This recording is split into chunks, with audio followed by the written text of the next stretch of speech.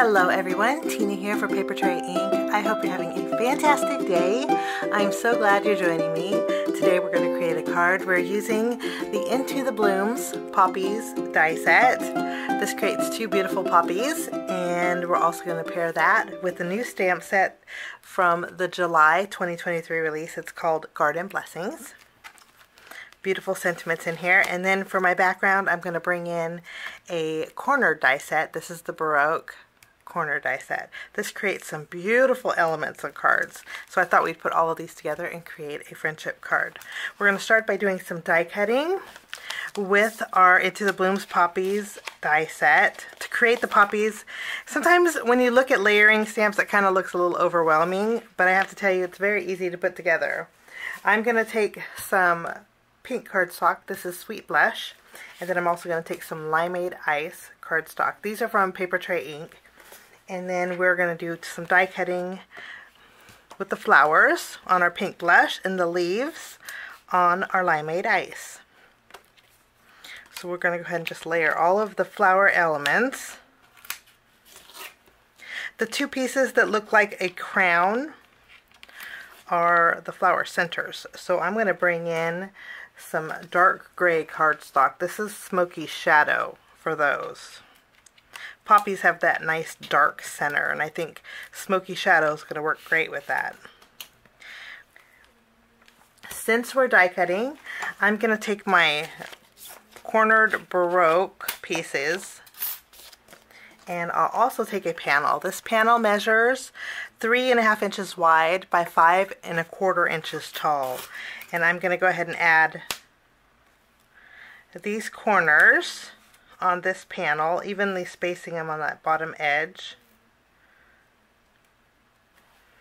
I might need to tape these down so they don't shift. And then I'll run everything through my die cut machine and I'll be right back. I have everything die cut and isn't this gorgeous? Look how pretty this is. I just think that's gorgeous. We're going to put this along with our card base off to the side and then we're going to build some poppies. The largest poppy has five layers including the stamen and then you have the smaller poppy has four layers and then you have the bud that has two layers. Now before we layer these together I'm going to bring in my ink. I have my pure poppy ink which is a red ink and I'm going to use my finger dauber and I'm going to add a little bit of color to some of the areas of my poppy. For the most part, I want to use my red ink on the, the foremost layers. And I want to kind of fade out. I think that looks good. You know, zoom in a little bit. I'm going to zoom in a little bit so you can see some better. And then I'm also going to add a little color here. There's some there's some debossed detail on here, which makes it really nice. I want to add a little color here.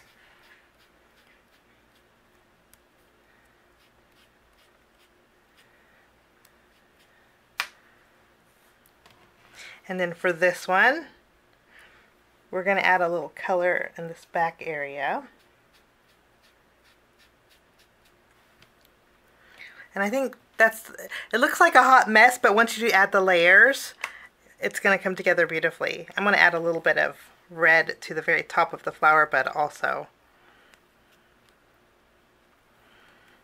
So I'll take one up and I'll take this layer here. I'll add a foam square. This layer here goes along this top edge. These, this top edge is the same right here can just kind of line it up.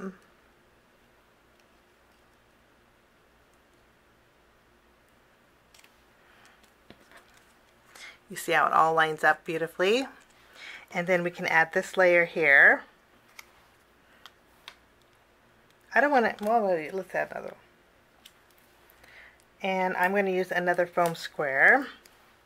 And of course, if you don't want all of this dimension, you don't have to add it.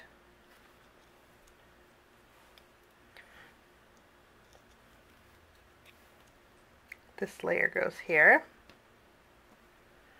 basically right in the center. And then we're going to go ahead and use some glue. And then we are going to layer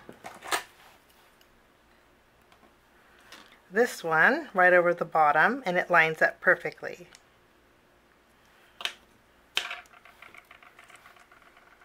Actually, I want to add my stamen. I put some glue behind here and this just fits right in like a puzzle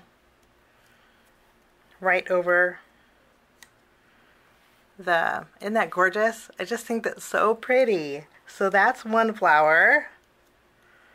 And then for this flower, it's just as easy.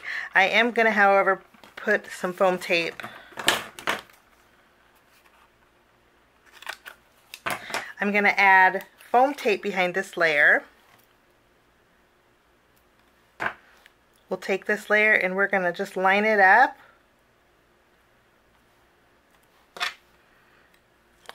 let me show you. On this side here, it lines up beautifully, but we have a little bit of dimension there. And then we'll take this piece, add some glue behind here, and we can tack this down right over the top. And then we'll take our stamen, we'll add some glue behind here, and then this just layers perfectly right here. And that's our second poppy. Aren't those gorgeous? So super easy to put together. For the poppy bud, I just add a little glue at the very top. And then using my craft pick here, we add it where all the ridges, this fits in like a puzzle piece also. The ridges go down, facing down on this one. So our poppy bud is done. Now, I did end up die cutting out one more stem, so we have two of the same. And I'm going to add this with a little bit of glue. And we can add our poppy bud here. We'll go ahead and add our last flower.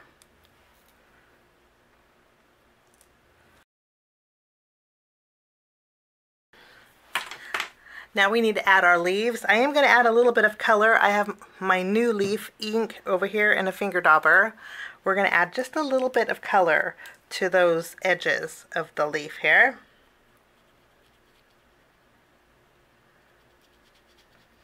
Back around of my card, I'm going to use the same Limeade Ice cardstock. I just created an A2 panel. I'm going to adhere that directly to my card base using my tape runner.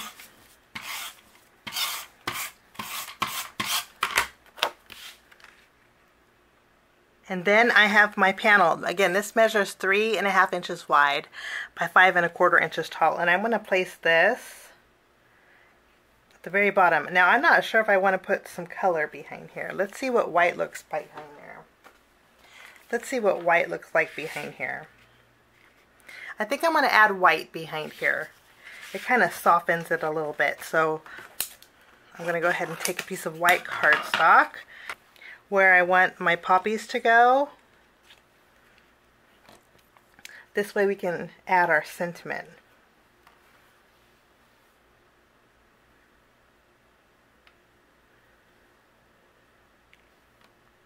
And you know what?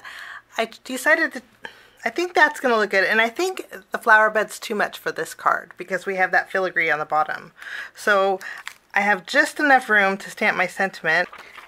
I'm torn between you are such a blessing in my life and friendship is the only flower that blooms. And I think I'm going to go with you are such a blessing in my life. I think that's going to go really well with this elegant card here. Okay. I'm going to go ahead and take my panel. I'm going to place it in my stamping positioner. And then I'll treat my paper with my anti-static powder tool.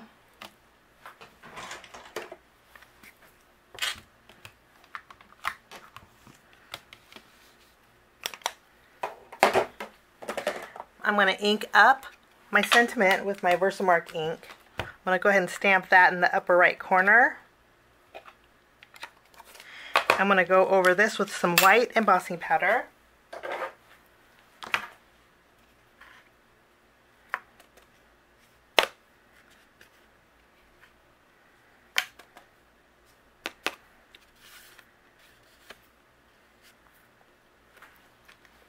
And I'll use my heat gun and we'll melt this.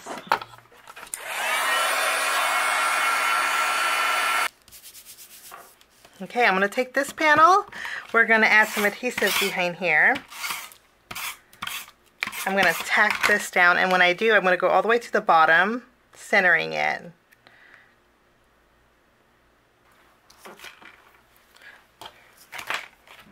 I just think that looks gorgeous.